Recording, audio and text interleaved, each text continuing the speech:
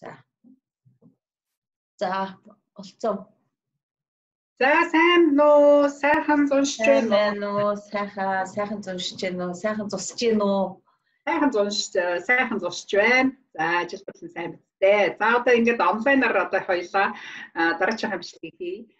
Сая амралт гээд халууны улирал болохыг бас жоохон паузтай. Харин тийм. Одоо тэгээ ямар зүгээр суугаад байлтай биш хөргөжлүүл. Зогсолтгүй урагшлна. Хүмүүс айгүйх амарч байна. Гадаа одоо яалтч байхгүй өрөнд дулаан цаг ирж байгаа болохоор нэг сайхан цаг үеэр хүмүүс бас байгальтаа гарч амарч зугаалж нэг тий юу ахлах л та. За тэгэхээр одоо ямар зогсолтгүй гэртээ байх биш. Одоо угаасаа урагшлна. Тийм болохоор хэдүүлээ угаасаа та хэдийн мандчлыг юу болж ийн гэж асууж байна. Тэгэхээр аа хоёлаа хөргөжлүүлсэн зүг ба. Тэгэхээр энэ хоёр амжилт цаг хугацаа тухай ярих үлээ тийм ээ. Хоёул тэрийг ярих уу? Тий. Ямар сэдв вэ? Яг хоёлаа нөгөө ярьжсанараа хүмүүс нөгөө нэг амжилтыг хэдийн эрийн хугацаанд тэг хүн амжилтанд хүрдэм ч гэдэг юм уу. Одоо жишээлбэл ямар нэгэн зүйлийг хийгээд дөнгөж өнөөдөр бизнес эхлээд ч юм уу дөнгөж өнөөдөр ямар нэгэн ажил эхлүүлээд тэр сар өнгөрөөд ч юм уу 7 хоногийн дараа ч юм ингээд ашиг орлого олж амжилтанд хүрнэ гэсэн тийм бодолтой хүмүүс ихэнх нь байгаад байдаг л да. Айгу хурдан хугацаанд одоо үр дүнгийг харах гэдэг гэсэн үг л дээ. Тэгэхээр энэ ямар нэгэн юм бол маш хурдан хугацаанд үр дүнгээ өгдөг гэдэг зүйл бол жоохон ташаа ойлголт юм болов бүх юм цаг хугацаатай бүх юм тийм ээ одоо юу гэдгийг ажиллаж хийж ээж дараа нөгөөж өгд юм байна гэдгийг л ярилцъя гэж бодоод байгаа юм. Яг үнэ. Яг ерөөсөө их ер нь нэг хурдан хугацааны амжилт ч юм уу одоо хурдан хугацааны өөрчлөлт гэдэг чинь бас нэг тийм өрөөсгөл ойлголт байгаад байна. Тийш. Хурдан баяжхийн төлөө ч юм уу хурдан байшин савтаа болчихын хурдан машин автлаад авчихсан. Ер нь нэг жоохон хүн их яадаг юм бол гэсэн гэж бодогддог шүү дээ. Ер нь жоохон яарад идэг юм уу? Тий, яадаг яг үнэ. Яг жинкнээсээ утгаараа хүний амжилтч бай, хүн ямарваа нэг зорилгондоо хүрэх өсөл бүрөөлөө биелүүлэх хугацааны заавал асуудал шаардлагатай байдаг тийм утцаа ерөөсөө тэгээд яг яг энэ цаг хугацааны тухай ярилцъя гэж бодсон. Тэгээд хүн болгонд одоо баян хүн, ядуу хүн гэж хэнийг ч голгүйгээр тий ерөнхийлөгчд ч адилхан одоо бүхэл энэ амжилттай яваа хүмүүс амжилтгүй яваа бүх хүмүүс хорвоо ертөнц маань 24 цагийг өгсөн байдаг. Тэгэхээр энэ 24 цагийг хэн яаж ашигласнаас л одоо тий хэн амжилттай байгаа нь харагддсан байна. Амжилттай байгаа нь эндээс л гарч ирдэм байна л гэж олж харсан бэ тэд. Яг үнэ. Тэгэхээр ерөөсө ямар ч хүнд 24 цаг байдаг. За тэгэхээр тэр хүн тухайн 24 цагаа яаж ашиглах нь одоо тухайн хүний одоо хувцраас оюуны мэдлэгээс ч юм уу одоо үйл хөдлөлөөс маш их шалтгаалж тухайн хүний амьдрал одоо өөр өөр байдаг байна. Харин тийм. Тэгэхээр 24 цагаа хэрхэн яг зөв зөвтэй зарцуулж байна. Тэрнээсээ шалтгаалж бүх амьдрал. Тэгэхээр зэрэг бид нэр одоо өөрсдөө жоохон дүгнэлт хийх байхгүй тий яг өнөөдөр өглөө босоод ёо 24 цагийнхаа хідтэн унтаад хідтэн ажиллаад хідтэн тийм ээ цагийг яг одоо гэр бүлдээ зарцуулж байна, эрүүл мэндэд зарцуулж байна тийм ээ яг яаж бид нар энэ цагийг ашиглаад байгаа юм бэ? Энэ цагийг яаж зөв зөвтэйгээр одоо өөртөө болон гэр бүлдээ одоо бусдад тийм ээ зарцуулах вэ? гэдэг тухайд боддгоо зөвхөн л одоо нэг мөнгө мөнгө мөнгө ч гэдэг юм уу тий нэг л их амжиргаал хөөгд энэ л да тэр хүмүүс маань өнөөдөр бид нар ч гэсэн өөрсдөө яг л тийм л байсан шүү дээ тий. Өглөө ажиллаа явал ажилласаа ирээл нэг 8-аас 12 цаг. Ялангуяа одоо энэ гадаадад ажиллаж байгаа хүмүүс маань 12 цаг ажиллаж байна. 24 цагийн 12 цагийн ажиллаад үлдсэн 12 цагийнхаа хідд нь унтахын 6-аас 8-д нь унтаад үлдсэн 4 цагт нь хоолоо хийж идчихэл. Ингээл нэг юугүй яваад байгаа байхгүй юу нэг өөрийгөө хөгжүүлсэн чинь байхгүй бусдтай ч ярьсан байхгүй ч гэдэг юм уу тий. Ерөөс энэ цаг нь ингээд нэг айгүй тавчуулчаад байдаг. Маш хурдан цаг өнгөрчдөг. Тэгэд ингээд яг хөгжгөө болчиход байгаа байхгүй. Тий. Яг хурдан шүү дээ. Цаг хугацаа үнэхээр хурдан. Одоо бид нар чинь ингээд нэг а ээж аав дээрээ байж байгаа оюутан болоод тэгээд ажил дээр гарснаас хойш одоо нэг мэдхэд л одоо 30 40 жил одоо ямарваа нэг байгууллагыг баяжуулахын төлөө ямарваа нэг компанийг баяжуулахын төлөө эсвэл ямарваа нэг эзнийг баяжуулахын төлөө ч гэдэг нь нэг бодлын эргээд бодоход ерөөсөө дандаа нэг бусдын төлөө одоо цаг заваа зарцуулсан байж байгаа. Яг үүндээ та өнөөдөр яг өөрийнх нь төлөө хүснээрээ аялж чадгүй, хүснээрээ амьдрч чадгүй, хүснээрээ одоо одоо юу ч өөрийгөө хөгжүүлж чадгүй ч гэдэг юм уу. Яг тэрийгэ бодглохлоор амар хязгаартай байсан. Жилийн нэг 30 360 хоногт нэг 20 хэдхэн хоногийн нэг амралтын хугацаатай байдаг. Тэгэл нэг хэд өдөр тутмын тэр нөгөө нэг бусдын төлөө гэсэн ойлголт бусадтай адилхан гэсэн тэр ойлголтоор бид нар насаар амьдарсан байдаг. За тэгээд тэр маань явсаар агаад нэг мэдэхэд ерөөсөө шууд тэтгэж очсон байдаг. Харин чи хэрэг штэ. Ерөөсөө тэтгэврийн нас чинь тэгээд та уучлаарай та одоо цаашаа эрүүл мэндгүй боллоо тийм учраас та одоо гэртээ суудаа гэсэн тийм болсон зогсоож байгаа байхгүй. Ерөөсөө тий яг тэр амьдралыг чи тэгээд зогсоочдаг. Та одоо одоо амарч болно гэсэн яг яг тэр амрах үедээ цаашаа хайшиг өвөгийн хайшиг тийм айгу хэцүү болсон байдаг. Яг үнэ. Тэгэхээр одоо яг байгаа цагаа бид нар гоё ингээд нэг цагийн менежмент гэж одоо сүүлийн үед айгүйх ярьдаг болчиход байна шүү дээ. Тэгэхээр энэ цагийн менежменттэй болчих юм бол хүн өөрийгөө хөгжүүлээд өөрийгөө тийм ээ бас нэг хүсээд байгаа тэр нэг өөрийн гэсэн зорилготой болж болж байна. Мөрөөдөлтөй хүрэх тэр боломжуудын тэр хаалгуудыг нээх юм маань юу юм гэхээр өнөөдөр бид нар өөрөө өөрийгөө олохгүй болвол би хинбэ би хаана байгаа юм бэ? Би ирээдүйд тааш явах юм бэ гэдгийг олж харахгүй тохиолдолд бид нар цаг хугацааг ингээл өөрийг мэдэхгүй энэ маань нөгөө нэг төлбөр авахгүй байгаа учраас мэддэхгүй яваад байл дээ хэрвээ цаг хугацаа төлбөр авдаг байсан бол энийг хүн яг нөгөө мөнгөтэй ажилтдаг одоо мөнгөтэй харьцдаг шиг мэдэрдэг байсан бол энийг олж харах байсан баг. Энэ маань нөгөө биднэрт мэддэхгүйгээр яваад байдаг. Гэтэл бид нар энэ цаг хугацааныхаа төлбөрт ямар их юм өгөөв тэ ямар их хүч чадал ямар сайхан залуунаас эрчим энерги тэ энэ цаг хугацаагаа хин нэг нь зориулсан юм бэ энийг одоо хэдүүлээ олж харах юм бол нь бас л ингээ бодвоштой юмуд гарч ирээд байгаа. Тэгэхээр ялангуяа залуучууд маань энэ цаг хугацааг ингээд зөв ашиглаад сурчаасаа өөрийн гэсэн цагийн менежменттэй болчоосоо тийм ээ өөрийгөө бас нэг өөртөө бас нэг зоригтой өөртөө бас нэг мөрөөдөлтөй тэрэндээ хүрэхийн тулд тэг нэг юм зоригтой болчих юм бол хүмүүс энэ цаг хугацааны энэ асуудлыг цаг хугацаагаа яаж өнгөрүүлж байгаа дээрээ бас фокслоод ажиллаж чадах юм бол боломж байна. Энэ энийг хийгээд чадах юм бол амжилт руугаа нэг алхам ойртнол гэсэн. Тэгэхээр амжилт руу ойртно гэхлээр хэдийн хугацааны цаг цагтаа за улсын төлөө ч юм уу хин нэгний төлөө бол бид нар насаараа одоо зүтгэх одоо тийм чадвартай одоо ирч хүчтэй энергитэй ингээд ажилласан байна. За тэгвэл та өөрийнх нь төлөө хэдийн хугацааны цаг зарцуулж ээж тодорхой хэмжээний тэр амжилт гэдэг юм руу ойртох юм бол энэ тэр хоёулаа ярив. За тийм. За бодё. Би анх яг одоо энэ битэрийн ярилцлагыг үзэж байгаа хүмүүс мэдчихэж байгаа энэ хоёр нэг сүлжээний бизнес хийдэг гэдгийг. Тэгээ би яг энэ сүлжээний бизнесээс хамгийн түрүүнд айгүй хурдан мөнгөтэй болох юм байна гэж олж харж л орж ирсэн л дээ. Яг тэгж бодож байгаа. Тийм шүү дээ. Энд бол ер нь ихэнх хүмүүс сүлжээнээс хурдан мөнгөтэй болно гэж ойлгож тийм ташаа ойлголттой орж ирдэг. Энэ нь бол тийм зүйл биш юм аа. А эндээс яг ямар ч бизнест ганц сүлжээ биш юм байна. Ямар ч бизнес, ямар ч ажил хөдөлмөр эрхэлсэн одоо жишээлбэл спортын тамирчид хүртэл маш олон жилийн ууггүй төвчээр тууштай байдал те энэ бэлтгэл сургуулийн дараа олимпиад. Яг энэ шиг бизнес ажил хөдөлмөр бүх зүйл маань амжилттай байхын тулд маш тууштай ууггүй төвчээртэй тэ бууж өгөхгүй байж чадах юм бол энд амжилт ирдэм байна Энийг бид нар ерөөсөө олж харахгүй. Орлоо маргааш мөнгөтэй болно гэж ойлгоод байдаг. Энэ үгүй юм байна гэдгийг олж харсан. А дээр нь амжилтанд хүрэхин тулд хүн өөрөө өөртөө заавал цаг хугацаа гар цаг зав гаргах хэрэгтэй юм. Цаг зарцуулах хэрэгтэй юм байна. Тэгэхээр өөртөө цаг зарцуулна гэдэг маань аа нөгөө өөрийгөө өөрчлөх энэ аянд мордно гэсэн. Энэ аянд гарна гэсэн. Яа тэгэхээр өөрийгөө өөрчилж бид нар одоо тэр олон жилийн маш олон жилийн тэр нөгөө нэг дадал зуршлуудаас салах хэрэгтэй. Олон тийм янз янзын дадал зуршилтай шүү дээ. Өглөө босмааргүй байна, тийм ээ. Хүний үлсний ажилд явмааргүй байна. Эсвэл нь амралтынхаа өдрөө сайхан дээл сайхан магшаараа л хідэл суугаад баймаар байна.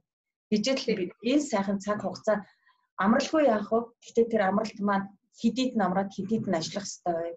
Э, тэгээд би нөгөө нэг юу фэйсбુક ухаал явжсэн чинь өнөөдөр хүмүүс амарч яхад та ажиллажээ. Тэгвэл нь та амжилт руугаа нэг алхам урагшилж байгаа. Хүмүүс амарчлаг, аялжлаг тий сайхан жаргалчлаг та хөдөлмөрлөөлээ. Тэгвэл үр дүн чинь илүү тэр хүмүүсээс илүү одоо юу гэдэг хурдтайгаар амжилт чи ирнэ ч гэдэг юм. Нэг тиймэрхүү байдалтай үсийг хараад байгаа байхгүй юу?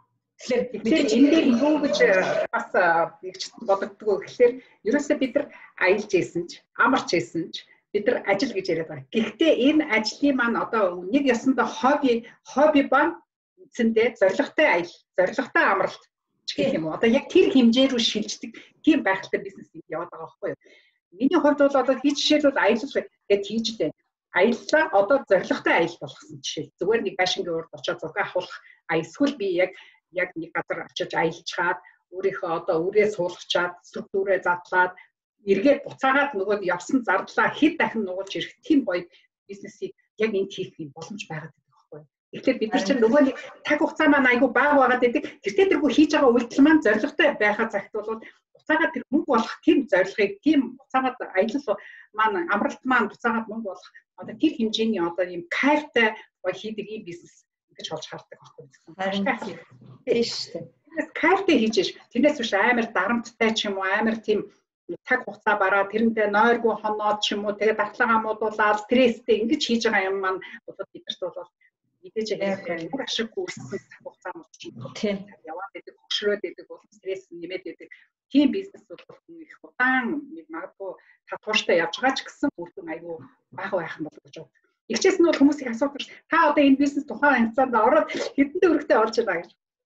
Яг үнэндээ бол бидний амжилт гэдэг юугаар бид нар хэмжих хэрэгтэй өдөр тутмын үйлдэлээр хэмжих хэвээр. Дээр нь бидний одоо ороод бизнест ороод байгаа хугацаа болгон маань бидний хамтлаг өөрчлөгдсөн юмд хандж байгаа юм маань одоо энэ тархинд орж байгаа тэр оюун мэдлэг тэр олон мундаг амжилттай болсон улсуудаас авсан сургал тэр болгон чинь үнэлж баршгүй хөрөнгө оруулалт бидний тархинд орсон байдаг.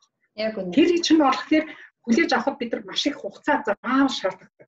Та өөрчлөгдөх цаг хугацаа та шаардлагатай гэж сая цацаа маань ярьлаа шүү дээ. Тэгэхээр яагаад яг тийм байт юм бэ? Одоо би бол жишээлбэл маш их одоо хуучин муу зуршил маш их байсан байгаа байхгүй. Одоо эргээд бодоход тий өөрийг авч явахаас ахуулаад хүнтэй ярихаас ахуулаад би ч одоо ингэж их айгуу тийм нийгмийн айдтай ч байсан. Эсвэл бусдыг буруутгах зам байсан уу гэвэл байсан шүү дээ би. Байсан байсан яг үнэ. Одоо тэгэхэд юм болгоныг гой гэгээлгээр харах юм болгоны айгуу зүгээр анализ хийх. Одоо тэгээд тэр болгон маань ингээд цаашдаа мөнгө болгох одоо тийм бизнесийг яалтчгүй одоо энэ мэдээллийн 900 бид нар хийх юм байгаад байгаа болохоор одоо тэр олж авсан мэдлэг маань тэртээ тэргүй яг мөнгө олох хэмжээний одоо тэр шатанд одоо бид нар дандаа өсөлтөөгөр өсөж байгаа тэр мөнгөний хэмжээнд тэр бизнесийг энэ цаг үе маань үнэшгүй хугацаа байгаа даа байхгүй маш үнэтэй хугацаа байгаа гэдэг. Тэгэхээр бид нар зөвхөн мөнгө бол ингээд амжилт гэх. А та энэ бизнест ийм олон жил болчиход мөнгөгүй байгаа даа бол уучлаарай штэ гэж. Хэлэхээр бас буруу ойлголт болчиход байгаа байхгүй юу? Тэгэхээр хувь хүнээс маш их юм шалтгаалдаг. Тийм ихтэй цацаа ерөөсөө юм тий. Нөгөө хин юу хүсэж чинь түүнийг л э, хийдэг. Хүсэж байгаа юм аа хүн хийдэг. Хүсэхгүй юм аа хүн хизээч хийдэггүй Тэгэхээр бидний хүсэл маань өөрөө юу юм?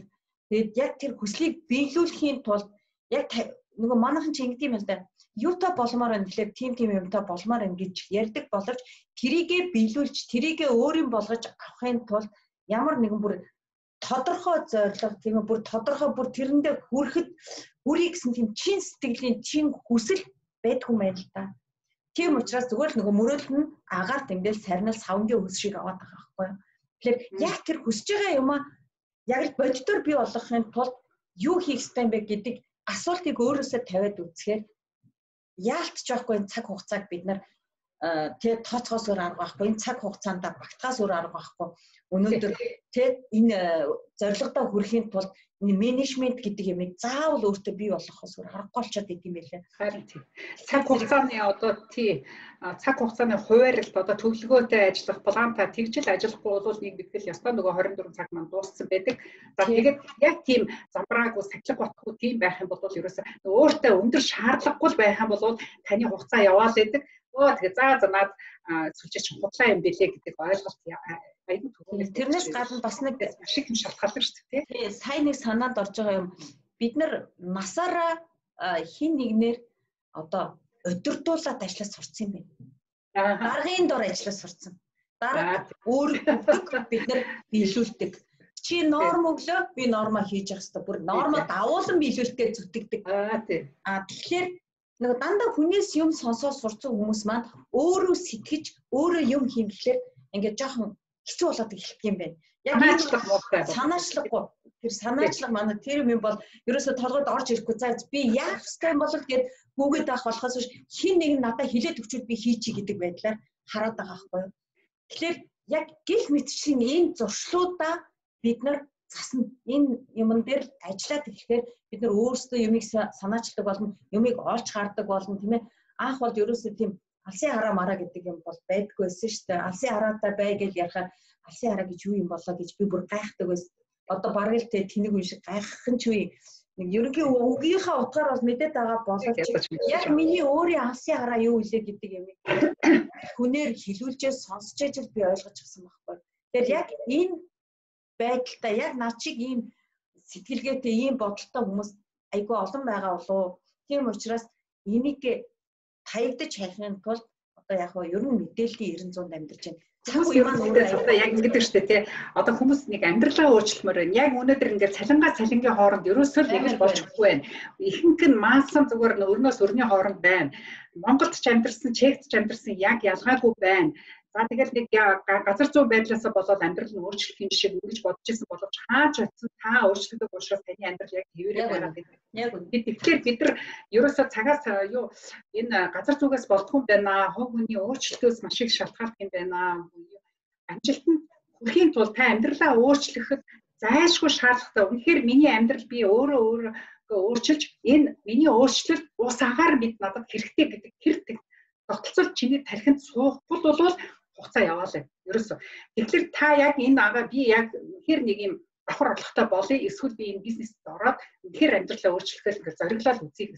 Яг шийдвэр гаргаж байгаа тэр өдрөөс эхлээл та ястаа асар том амжилтыг хийцэн л байгаа байхгүй. Тэгэхээр амжилт гэдэг чинь ерөөсөө баг баг юмны процессыг нийлбэр болж иж маш том амжилт бол. Тэгэхээр тэр том амжилтанд нэг мэдхэд та хүрсэн. Өдөр тутмын өөрөө өөртөө үнэнч байх тэр үйлдэл чинь нэг мэдхэд таны тэр том амжилт төрөх.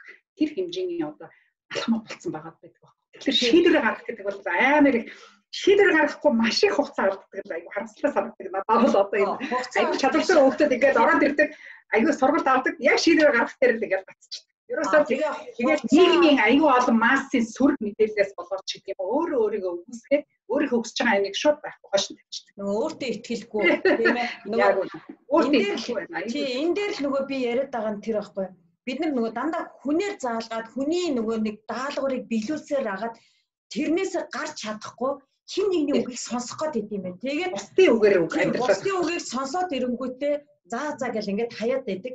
Гижээтэл яг тэр хүн маань өнөөдөр одоо шийдвэрээ гаргаж чадахгүй бусдын үгээр яваад ингээд за уналтанд орё гэж бодъё л доо. Тэгэхэд тэр зөвл зөвлөжсэн хүмүүс нь тэр хүний амьдрал одоо яг үнэхээр тусалж чадах уу?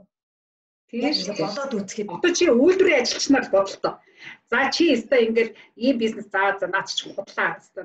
Чи одоо ингээл бизнес хийнгүүтээ нөгөө нэг юмыг харьцуулан бодох чадвар нь ингээд нэмэгдээд ирдэг. Хүүхдүүд чинь ном уншаад юм сураад ирэхлээр хүнтэй ярихдаа хөтлөө өөр болоод эхлэхгүйт нөгөөдүүл нь чи ста нэрэ биднийг ад үзлээ. Чи ста худлаа олчлоо. Чи найзлах болчлоо гэсэн гомдол гараад ирдэг тийм. За тэгэл гомдоод ирж байгаа улсууд чинь яг нарийнда амьдрал одоо энэ үйлдвэр жишээлбэл ажиллахаа байгаа нөх болчлоо гэсэн нөхцөл шүүмжилжсэн хүний амьдралын дээшлүүлээд аваад явах өөрөө хэцүү чинь гэдэг. Тэнгүүд яг энэ зөвхөн өөрийнхөө л тий өөрийнхөө замыг л бодоод явна гэдэг угаасаа өөрийнхөө амьдралыг өөрийнхөө зам өөрийнхөө тэгэхээр бусдын үгийг яг хөө сонсохгүй биш сонсож болно. Гэхдээ өөрөө өөртөө итгэж өөрийнхөө зүрх сэтгэлийг сонсож өөрийнхөө хүсэл мөрөөдлийг илүү их сонсч ивэл одоо тэр хүнд хэрэгтэй юм болов гэж би бод.